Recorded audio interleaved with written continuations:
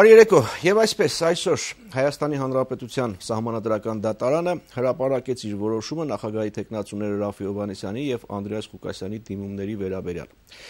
Ելնելով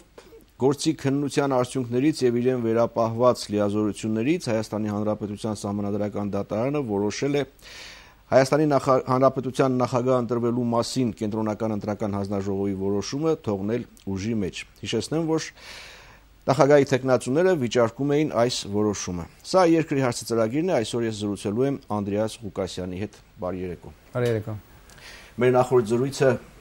այն ժամանակ էր, երբ դուք հացադուլ էիք հայտարարել Գիտությունների ազգային ակադեմիայի մոտ։ Հələ ասել էքստրեմալ պայմաններում Էքստրեմալ պայմաններում էր, հա,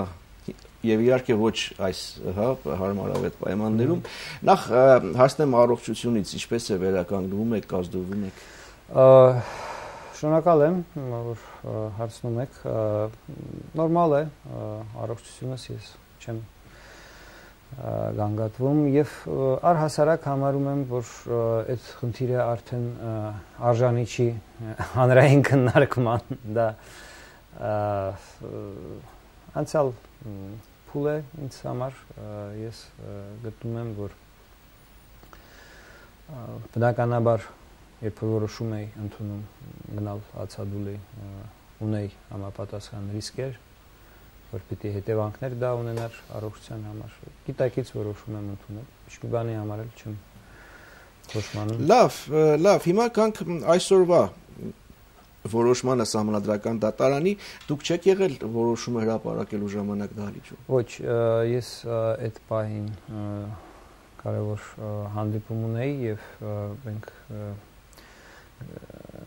պլանավորում էինք մեր հետագա գործողությունների համար կարևոր որոշումներ ընդունում եւ այլն դրա համար պարզապես չհասցրեցի ավելի կարևոր քան համանդրական դատարանի որոշումը համանդրական դատարանում որոշումը լսելուց կողմը որևէ գործողություն չի կատարում իմ լիազորված անձներ այդ պահին համանդրական դատարանում Սահմանադրական դատարանի նիստում ինչ որ իձանից կախված էր, որ ես համարում եի, որ պարտավոր եմ անել, ես արեցի եւ բնականաբար այսօր այդ որոշումը որոշման հրապարակման ժամանակ իմ ներկայությունը չեմ համարում, որ այն անհրաժեշտ Հասկանալի Որոշումը պիտի ենթադրեմ ձեզ համար արդեն հայտնի էր անկախ այնտեղ որոշումը ինձ համար անակնկալ չէր նիստի ժամանակ երբ որ դատարանը հրաժարվեց բավարարել ապացույցներին վերաբերվող իմ միջնորդությունը իմ միջնորդությունները ինձ համար արդեն պարզ էր որ դատարանին այն ապացույցները, որը որ ես համարում եմ անհրաժեշտ այդ գործի համար, կարևոր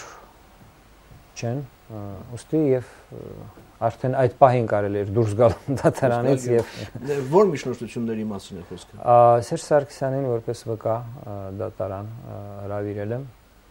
ես գտնում եմ շատ կարևոր էր, որովհետեւ միայն Սերժ Սարգսյանին է հայտնի այն տեղեկությունը, թե ինքը ինչի նկատի ուներ, երբ հայտարարել էր, որ կազմակերպել է Հայաստանում ընտրություններ։ Սերժ Սարգսյանի ներկայացուցիչը դատարանում նշեց, որ ինքը լիազորված չի Սերժ Սարգսյանի կարծիքը դատարանին այտնել։ Այսինքն այդ ներկայացուցիչը Դավիթ Հարությունյանը եւ մյուս ներկայացուցիչը Հրայր Թովմասյանը ներկայացնում էին դատարանում իրենց կարծիքը ոչ թե վստահ կարծեմ այսպեսի մի տեսակետել էր հնչել որ որպես երկրի գլուխ պատասխանատվություն է կրում ամեն ինչի այդ թվում նաև ընտրական գործընթացների հա պարզապես կարծիք է բայց կա էական տարբերություն կողմերի բացադրությունները ապացույց չեն դատարանում կարծիքներ են որոնք որ հնարավորություն են տալիս հասկանալ գործին վերաբերող հա մոտեցումները, կարևոր տեղեկություններ միգուցե ինչ որ ստանալ եւ այլն բայց վկայի ցուցմունքը դա ապացույց է եւ Սերժ Սարգսյանի բացատրությունները դատարանում, ցուցմունքը դատարանում, դա գործին համար էական նշանակություն ունեցող կարևոր ապացույց էր։ Սերժ Սարգսյանը խնդիր ուներ պատասխանելու ինքը ցուցմունքներ, հրամաններ կենտրոնական ընտրական հանձնաժողովին տվել է թե ոչ։ Կազմակերպել ընտրությունները, չէ, դա հստակ բան է նշանակում։ Տալ հրամաններ եւ տալ ցուցմունքներ, տարբեր հրահանգներ եւ այլն եւ դրա հետ կապված իր մասնակցությունը անհրաժեշտ էր որպեսզի այս գործում ըստ ինձ իմ կարծիքով հասնել որևէ Դուք նկատի ունեք Սերժ Թանկյանին ուղված նամակը, հա, որտեղ Այո, դա այստեղ Սերժ Թանկյանը ոնց որ ասած հանդիսացավ պատճառ, բայց այդ նամակի մեջ ես այդ նամակը դիտարկում եմ առաջինը որպես հրաապարակային ելույթ Հիմա դա Սերժ Թանկյանին է ուղված, եթե դա լիներ միայն Սերժ Թանկյանին ուղված, ինքը կլիներ փակ նամակ։ Հա, բաց նամակ նշանակում է, որ ուղված է հանրությանը եւ ինձ, եւ ձեզ, եւ բոլորին, Եվ բնականաբար հանրությունը միանգամից պիտի հարցներ Սերժ Սարգսյան, ինչ է նշանակում, որ դու ես կազմակերպել ընտրությունները։ Լավ, հասկանալի է։ Սա ձեր հիմնական, ասենք այսպես, մեղն էր, հա, ապա որոնք։ Ոչ, հիմնական խնդրեմը, որը որ մենք ունեցել ենք այս ընտրություններում, ինչպես եւ անցյալ բոլոր ընտրություններում, դա այն է, որ բազմատիվ թվով ընտրատեղամասերում արձանագրվել է անհավանական քվեարկության արդյունքներ։ Եւ ես դատարանին ներկայացրել էի թվով 576 ընտրատեղամաս, որտեղ որ մասնակցությունը քաղաքացիների, ընտրողների քվեարկության եղել է անհավանական բարձր եւ Սերժ Սարգսյանի օկտին քվեարկողների թիվը նույնպես եղել է նորմալից իմ կարծիքով անհավանական բարձր։ Իրանք 100% կամ 90% որ քվեարկում են մեկ տեխնացուին նման ապացուցողական նշանակություն ունի։ Իհարկե այդ տեղեկությունները վերծված են արձանագրությունների տվյալներից, որոնք որ ամփոփված էին եւ հրապարակված էին election.am կայքում կենտրոնական ընտրական հանձնաժողովի կողմից եւ այդ տվյալները ընկած են ընտրությունների արդյունքների ամփոփման հիմքում որի հիման վրա կենտրոնական ընտրական հանձնաժողովը որոշում է ընդունել հաղթող է ճանաչել Սերժ Սարգսյանին։ Հասկանալի է, բայց եթե դուք ասում եք, ու միայն դուք չէ, այդ գաղափարը անտակ շրջանառում է, որ որտեղ ավելի բարձր եղել մասնակիցների քվեարկողների թիվը, այնտեղ ավելի գործող նախագահ շատ ցայներ է ստացել։ Սա տեսական, քաղաքական ենթադրությունների, մեկնաբանությունների, եզրահանգումների տեղ է տալիս, բայց ապացուցողական դրա համար ես դիմեցի երկրորդ միջնորդությունով, իմ երկրորդ միջնորդությունը դատարանին ուներ հետեւյալ պատճառաբանությունը։ Որևէ նախագահի տեխնացում ի վիճակի չի ունենալ ձեռք բերել տվյալ երկրից բացակայող քաղաքացիների վերաբերյալ, ճիշտ է։ Այդ տվյալը կարող է ունենալ միայն պետությունը։ Ոստի ես միջնորդել եմ, որ դատարանը իր հնարավորությունների շրջանակում այդ տվյալը նշված ընտրատեղամասերում վերաբերյալ, այսինքն այդ ընտրատեղամասերում ինչքան քաղաքացիներ են Հայաստանից բացակայել փետրվարի 18-ի դրությամբ։ Ինչ է հնարավորություն էր տալի հստակ, չէ, տարանջատել, եթե քվեարկության մասնակցությունը համադրում ենք բացակա քաղաքացիների թվի հետ եւ տեսնում ենք, որ չեն համապատասխանում, ապա ակնհայտ է, որ այդ ընդրատեղամասում ընտրության արդյունքները կեղծված են։ Եթե կեղծված են, ուրեմն անհրաժեշտ է դա ճանաչել անվավեր։ Օրենքը սահմանում է ընտրական օրենսգիրքը, որ ընտրական տեղամասայ ընտրական հանձնաժ ընտրատարածքային ընտրական հանձնաժողովները պիտի այն տեղամասերում, որոնք որ կասկածել են, կատարեն վերահաշվարկ իրենց նախաձեռնությամբ եւ չեն արել դա հանձնաժողովները իհարկե ես դրան էի գալու թե մենք երկուս էլ իրավաբան չենք համոնadrագիտ չենք բայց ուզում եի իմանալ թե ձեր փաստաբանները կամ ներկայացուցիչները ինչ էին ասում արդյոք այն խնդիրը որ դուք բարձրացնում եք դա համոնadrական դատարանի իրավասությունների կամ գործառույթների տիրույթում է թե դա պիտի արվեր ավելի վաղ հանձնաժողովում գիտեք կար կարծիք եւ այդ կարծիքը փորձում էին ներկայացնել պատասխանող կողմի ներկայացուցիչները, որ համանadrական դատարանը ուսումնասիրում է միայն մեկ հարց։ Եթե կենտրոնական ընտրական հանձնաժողովը կազմել է ընտրությունների վերաբերյալ արձանագրություն, որի մեջ գրված է, որ ենթադրենք X տեխնացուն ունեցել է այսքան ձայն, ամենաբարձր թվով ձայներ։ Իսկ հետո նա ընդունում է որոշում հաղթող ճանաչել մեկ այլ տեխնացուին, ապա համանդրական դատարանը միայն այդ հարցը կարող է նայել, համադրում է արձանագրությունը, նայում է որոշմանը, տեսնում է, որ իրար հետ չեն համանգնում ու ասում է, այ տեսեք, այստեղ կա օրենքի խախտում այ այդ խոսակցությունները իրավաբան, ոչ իրավաբան, ես ունեմ իրավաբանական կրթություն։ Ունեք, հա։ Այո, դա իմ երկրորդ կրթությունն է։ Կապված են եղել հենց այդ մոտեցումը փորձել առաջ տանել թե դատարանում եւ թե հանրության համար ստեղծել այնպիսի տպավորություն, որ համանadrական դատարանում ինչ որ հատուկ կանոններ կան, որոնք որ բնականաբար եւ ցանկացած դատարան ունի իր լիազորության շրջանակ, անդատության եւ այլն։ Բայց այդ հարցը ինձ թվում է ավելին է, այսպես ասած, ուրճացված, բնականաբար համանadrական դատարանը այն մարմինն է, որը որ պատասխանատու է, որ մեր երկրում, չէ, պահպանվեն համանadrության նորմերը։ Եվ այդ իթիվ այդ տեսակի վեճերի մտնում է նաև նախագահի ազգային ժողովի падգամավորների ընտրության վերաբերյալ վեճերը համապատասխան որոշումների անվավեր ճանաչելու կամ ինչ որ այլ հետևանքներ կիրառելու այդ համապատասխան վեճերի լուծման եւ որոշումների ընդունման իրավասությունը տրված է համանadrական դատարանում Բնականաբար, երբ որ քննարկվում է հարց,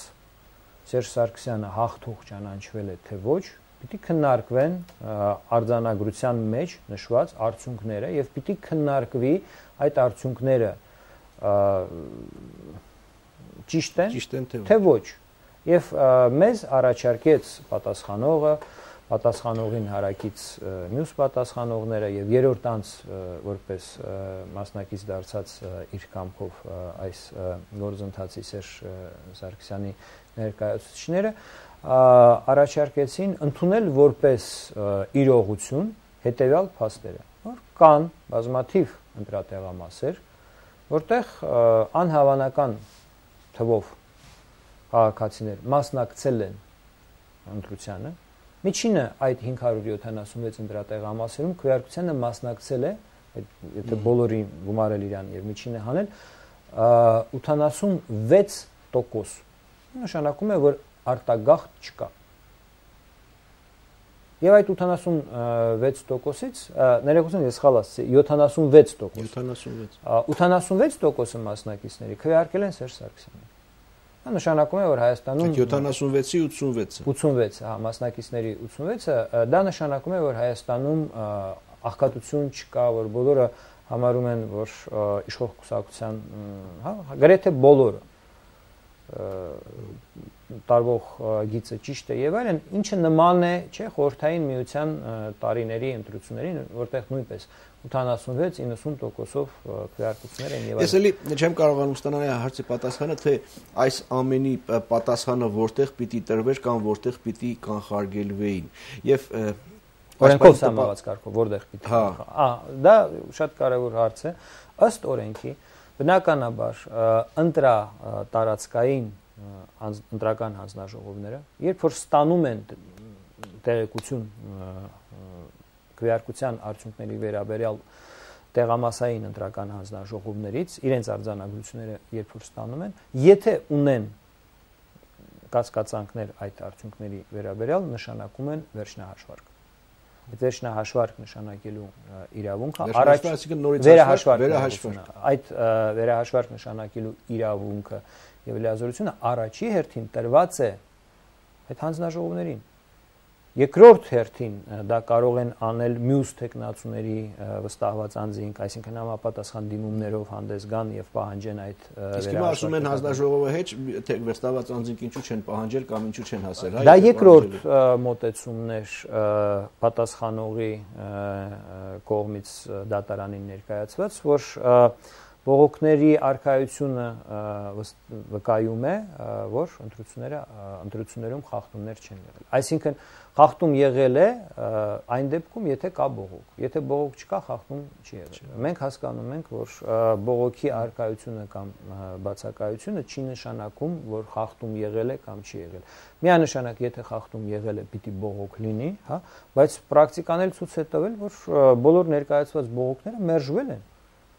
127 դիմում է ներկայացրել բողոք դիմում է ներկայացրել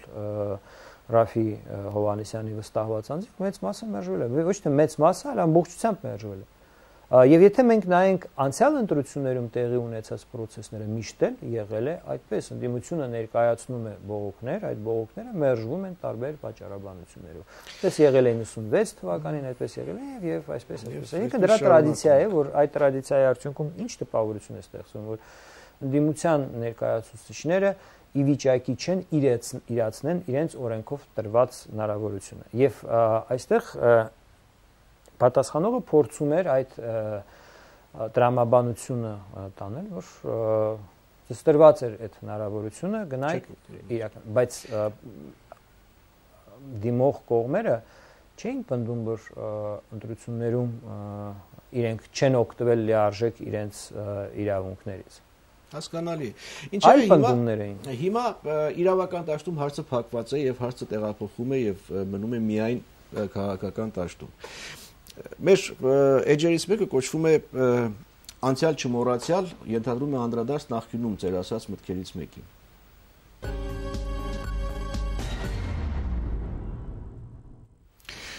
Ուրեմն ես հիշում եմ այն ժամանակ, երբ որ դուք բասնամակով հանդես եկաք եւ դիմեցիք տեխնացուներին, հա, ինչպես է միասնաբար դուրս գալ ՀԿ-ի կողմից նախագծված եւ կանխորոշված ընտրությունների ընտրապայքարից եւ ասում էիք եւ ասում էիք համոզված եմ որ քրեա օլիգարխիկ քրեա օլիգարխիկ համակարգի դեմ ուղված քաղաքացիական շարժումը, որի առաջնորդները կլինեն Պարույր Հայրիկյանը, Ռաֆի Հովանեսյանը եւ Հրանտ Բակրադյանը, հաջողությամբ կպսակվի։ Նաեւ հավատում եմ, որ նախագահի մյուս տեխնացուները եւս ճիշտ գնահատելով իրավիճակը ազգային շահը կգերադասեն անձնական շահից։ Ինչ եղավ ձեր հավատի եւ համոզմունքի հետ։ ես ավելի ամրապնդվեցի իմ համոզմունքի մեջ, որովհետև կյանքը ցույց տվեց, որ այս զարգացումը իրադարձությունների կլներ ավելի ճիշտ բոլոր տեխնացուների համար անznապես այսօր մենք ինչ իրադրություն ունենք Պարուր Հայրիկյանը ցաներ վիրավոր Փարկած է հիվանդանոցում, հա, Կարմիր խաչում փորձում է վերականգնել իր առողջությունը։ Վարդան Սեդրակյան բանտում է մյուս նախագահի տեխնացում։ Հրանտ Բագրատյան ինձ թվում է այս ընտրությունների արդյունքում բավականին բարդ քաղաքական իրավիճակում հայտնվեց Արման Մելիքյան նույնպես բավականին ջանքեր գործադրեց այս ընտրական process-ում ինչ որ հարցեր բարձրացրեց շատ կարևոր նշանակության այս ընտրական process-ի եւ տեսնում ենք այսօր նույնպես գտնվում է քաղաքական այդ process-ներից դուրս ստվերում եւ այլն Ռաֆի Հովանեսյան այսպես ասած վաբանկ քայլ է արել եւ ուլտիմատում է ներկայացրել իշխանություններին, բայց գերագույն ռիսկի է դիմում իր քաղաքական մի կողմից ամբողջ հա պոտենցիալը դնում է այդ ոնց որ ասած պայքարի սեղանին առողջությունը եւ մյուսը մյուս ամբողջը ինչ ունի այդ մարդը ինքը դրեց դրեց պայքարի այդ համար սեղանին եւ այսօր դա նույնպես խոսում է ճգնաժամային իրադրության մասին։ Մարդիկ նման քայլերին, ինչպես որ քննարկել ենք հացադուլը, դա չէ, ծայրահեղ միջոց։ Ըստերության մեկը միջև ընտրությունները հացադուլ, մյուս ընտրություններից հետո մեկի նկատմամբ մահափորձ, մեկը ձերբակալված է։ Գից եթե քաշենք այս իրադրության հետ կապված եւ նայենք այս իրողության ինչ ենք ստացել։ Բնականաբար այսօր ունենք արդյունք, որ 530.000 ձայն քվեարկել են, ավելի ճիշտ 630.000 ձայն ռեժիմին դեմ։ Հա, այս տեխնացիաների անվավերները այլ տեխնացիաներին քվեարկացնել 42% մտավորապես։ Չէ, պաշտոնական տվյալներով ստացվում է տվյալներ նույնիսկ ավել 680.000 ձայն է դա կազմում։ Ես սա ի նկատի ունեի դեռևս հունվարի 14-ին։ Ինչ էր պետք անցնել այս ամենը, որpիզի իմանայինք, որ այդքան քաղաքացիներ պատրաստ են ռեժիմին դեմ դուրս գալ։ Դրա համար ցավոք սրտի այսօր մենք ունենք այն իրադրությունը, որ ի հայտ եկավ այդ տվյալը, դա այսօր քաղաքական մի նոր խնդիր է, որ անհրաժեշտ է դա դարձնել ինչ որ քաղաքական product այդ քվեարկության արդյունքը, որը որ կա եւ դրա համար քաղաքական ուժերը իմ կարծիքով առողջ քաղաքական ուժերը համակերպ համ, համախմբում են այսօր ազատության հրաապարակի շուրջ կրկին կամ իրենց զորակցությունն են հայտնում այնտեղ հավաքված մարդկանց այս կամ այն կերպով բայց այդ ամենը մենք կարող ենք ավելի շուտ ունենանք Հասկանալի է, պարոն Ղուկասյան, հիմա մեր ծրագրի հերթական էջը, որ ենթադրում է հարցեր Facebook սոցիալական ցանցից կամ իրական հարցեր վիրտուալ տարածքից։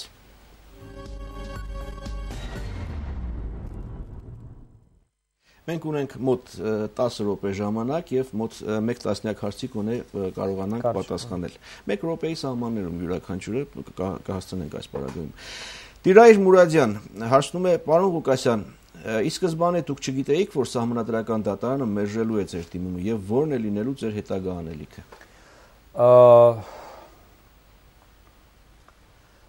Մարդու իրավունքները պետք է պաշտպանված լինեն օրենքի ուժով Եվ եթե դա այդպես չի, մարդիկ ստիպված են դիմել այլ գործողությունների, ներառյալ եւ ապստամբության որպիսի իրենց օրինական իրավունքները կարողանան պաշտպանեն եւ իրականացնեն եւ հաջորդ ցերունդների համար ստեղծեն այնպիսի պայմաններ, որոնք որ երաշխավոր են, որ անարդար ռեժիմ տեղի չի ունենա, չի վերականգնվի։ Դա եւ իրավունքն է ժողովուրդների եւ պարտականությունը։ Միաժամանակ անհրաժեշտ է, որ քաղաքական process-ում իրոք սպառված լինեն բոլոր հնարավորությունները այս արդյունքին հասնելու սահմանադրական ճանապարհով։ Ես հացադուլ եի անում պահանջելով պետությունից, որպիսի նա սահմանադրական նորմերը իրականացնի ընտրական process-ում։ Այսինքն սահմանադրությունը խախտող քաղաքակուսակցությանը, քաղաքական ուժին հանի ընտրական process-ից։ Չէ, արել եմ ամենը, որպիսի ինչը որ կարող է քաղաքական գործիչ անել, որպիսի սահմանադրականությունը իրականացվի։ Այսօր նաև մյուս տեխնացուի հետ վիճարկել եմ, բողոքարկել եմ ընտրության արդյունքները։ Գտնում եմ, որ մեր հանրության կարողությունը, ինչը որ կարող էր հանրությունը այս ընթացքում իրականացնել, սպառված է ես որպես քաղաքական գործիչ բնականաբար չէ հանրության շահերն եմ պարտավոր սпасարկել Եվ ես արել եմ ամենը, ինչը որ քաղաքական գործիչը իր պատասխանատվությունը հանրության արչև կարող էր անել։ Հասկանալի է, Վահե Պետրոսյան, պարոն Ղուկասյան, այս պայքարը նաև ուղղված է, կարծես աշխարհիկ երթերությունների ղեկավարների դեմ, քանի որ հեղափոխությունը պաշտոնապես կբացահայտի այդ կազմակերպությունների, ու պետությունը երևի ուզում է սուտ խոսելը։ Ինչ է կարծում իրատեսական է արդյոք Ռաֆի Հովանեսյանի կամ հայ ժողովրդի այսօրվա ունեցած ռեսուրսներով աշխարհի իշխանությունների դեմ գնալ։ Կարծում եմ իրատեսական է, հարցը շատ ճիշտ է դրված։ Մենք տեսանք, որ Մոսկվայի Մոսկվայում, չէ, տեղի ունեցած հանդիպման ժամանակ ընդգծեց Ռուսաստանի նախագահ Վլադիմիր Պուտինը, որ Սարգսյանը միշտ 58-60% է նաև բաներ հավաքել եւ Հայաստանի իրողությունը ո՞րն է այսօրվա համանadrությունը եւ այսօրվա քաղաքական իշխանության ձևավորումը թույլ է տալիս մեկ մարդուն ունենալ պետական իշխանության ամբողջ մոնոպոլիան իր ձեռքում նշանակել բոլոր պետական պաշտոններում մարդկանց որևէ հաշվետվություն չտալ որևէ մեկին բացառությամբ այդ իրա անմիջական վերահսկողության տակ գտնվող մարդկանց եւ այլն։ Այսինքն այդ դեպքում ձևական բնույթ են գրում բոլոր հաշվետվությունները եւ այլն եւ բնական է որ այդ մոնոպոլիան, այդ պետական իշխանության մոնոպոլիան այսօր գտնվում է եւ սпасարկում է այլ պետությունների շահերը։ Մենք տեսանք այդ պետությունների շահագրգռվածությունը այս համակարգը պահպանել եւս տարիներ շարունակ։ Որն է ռեսուրսը։ Ռեսուրսը բնականաբար ազգային շահեր պաշտպանող քաղաքական ուժերն են, ես գտնում եմ որ եւ ժառանգությունը եւ դաշնակցությունը եւ այս նոր ձևավորված կուսակցությունը այազն կուսակցությունը դա այն քաղաքական ռեսուրսներն են, որը որ հնարավորություն կտան մեր ժողովրդին ազգային ուժերի ճակատ ստեղծել եւ քաղաքացիներին միավորվել այդ ֆորմատի շուրջ, որպեսզի պաշտպանել մեր ժողովրդի ազգային շահերը։ Սոնա Տավցյան, պարոն Ղուկասյան, համնադրական դատարանում լրագրողների հետ զրույցում ասել եք, որ եթե համնադրական դատարանը մերժից էր դիմում, ապա Սերժ Սարգսյանի ինքնաբացարկի պահանջը կդառնա քաղաքական պահանջ, որի իրականացման համար կպայքարեք բոլոր նրանց հետ, ովքեր կմիանան այդ պահանջին։ Մտավախություն չունեք, որ այդ պահանջի իրականացման հետևանքը կլինի նոր մարտի 1-ը, եթե հաշվի առնենք ազատության հրապարակում տեղի ունեցած այսօրվա հրմշտոցը։ Դե գիտեք, մտավախություն բնականաբար պարտավոր եմ ունենալ եւ բոլոր գործողությունների մշակելու, պլանավորելու ժամանակ պետք է քաղաքական գործիչը, քաղաքական բոլոր գործիչները աշխատեն չստեղծել այնպիսի իրադրություն, որպիսի իշխող կուսակցությունը օգտագործի պետության ռեսուրսները շարժման դեմ եւ սա կարեւոր հանգամանք է բնականաբար դա խնդիր է որ որ պետք է միշտ աչքի առաջ ունենալ բայց մյուս կողմից քաղաքացիական անհնազանդությունը ունի լայն կարողություններ որը որ կարելի է կիրառել եւ հասնել արդյունքի խնդրում եմ մի փոքր ավելի հակեր եթե որպեսի հասնենք բայց լայն հարցեր են հա, հա։ Պարոն Մայիս Ավետիսյանն է հասնում, պարոն Ղուկասյան, ես ինքս ձեր գաղափարներով եւ կրթական մակարդակով հիացած եմ։ Սակայն լավ գիտեմ, որ պետական ապարատը գտնվում է Սերժ Սարգսյանի ազդեցության տակ եւ ցանկացած որոշում հոգուտ նրան է կայացում։ Ու ինչ որ դուք եք ասում, միթե համամիտ չեք պարոն Փաշինյանի գաղափարին քաղաքացիական անհնազանդության ճանապարհով գնալ։ Համամիտ եմ։ Ամբողջությամբ համամիտ եմ Նիկոլ Փաշինյանի քաղաքական հայացքների հետ գտնում եմ, որ քաղաքացիական անհնազանդությունը շատ ճկուն գործիք է, որով այսօր պետք է աշխատենք։